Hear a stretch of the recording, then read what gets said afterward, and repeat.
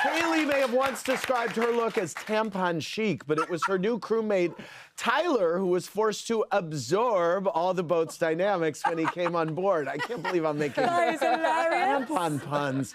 Let's get his take on all of them in a round of break the uh, Tyler. I'm going to pair up your crewmates and read out a question. Tyler, pick your answers from each pair. Who's a more natural leader, Fraser or Ross? Fraser. Uh, who is a more intimidating captain, Sandy or Lee? Lee. Uh, who's a more iconic redhead, Hayley or Rachel? Oh, Hayley. Uh, Well done. who's more obsessed with his own looks, Tony or Ben? ben. Uh, who did Hayley and Fraser gossip more about, Camille or Alissa? Alissa. Uh, who had a harder time taking constructive criticism, Fraser or Rachel?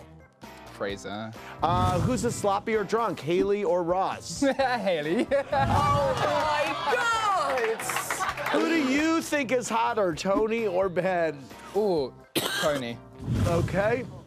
Uh, who gave off more natural Chief Stew vibes, Fraser or Leanne? Fraser.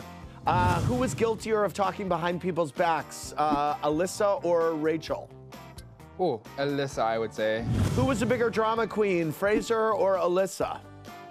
Fraser. Uh, thank you. Thanks for watching. Watch more clips here and subscribe to our channel here. See ya.